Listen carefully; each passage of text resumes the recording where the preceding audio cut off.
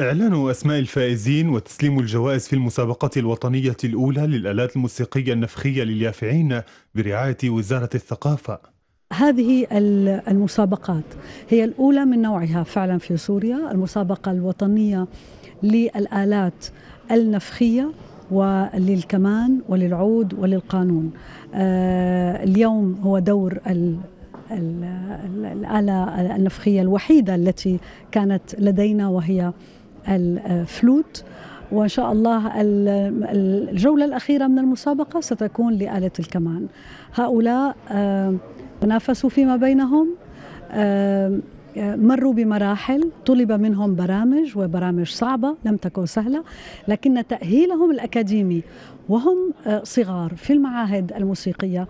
أهلهم لأن يصلوا إلى هذه المرحلة وإن شاء الله يصلون إلى ما هو أكبر وأعلى من ذلك. تشجيع؟ الطلاب الذين يعزفون الآلات النفخية وتحفيز أيضا الطلاب الآخرين الذين يعزفون حتى يتوجهوا إلى هذه الآلات. المسابقة كانت على عدة مراحل. أولا مرحلة الفيديو ثم المرحلة الثانية ومن ينتقل لها إلى المرحلة الثالثة.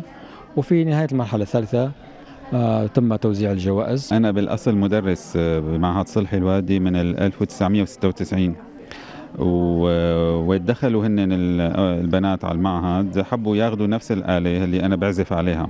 فهذا ساعد اللي أنا أشتغل عليهم وهن لقيت تجاوب فهذا ساعد إنه يتطوروا بهالآلة. فكنت معهم دائما بجميع المراحل ووقت اجت المسابقة كمان حضرنا الحمد لله بشكل جيد. قبل من وقت ما طلع الإعلان للمسابقة ولوصولا للمرحلة الثالثة. مسابقة من ثلاث مراحل حتقام هون يعني أول مرحلة كانت عبارة عن فيديو، ثاني مرحلة عبارة عن قطعتين وهلأ يعني المرحلة الثالثة عبارة عن قطعة لموتزارت. بقى نحن أصلا عازفينها ورجعنا عزفناها والحمد لله. كانت لعدة آلات ومنها الفلوت.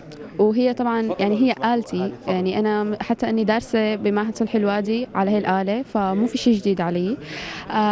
أخذت القطع المطلوبة وتمرنت عليها وقدمت فيديو. حتى انقبلت للمرحلة الثانية وكمان ترفعت للمرحلة الثالثة. وكل ما كانت الأمور عم عم تهون علي وكثير مبسوطة أنا.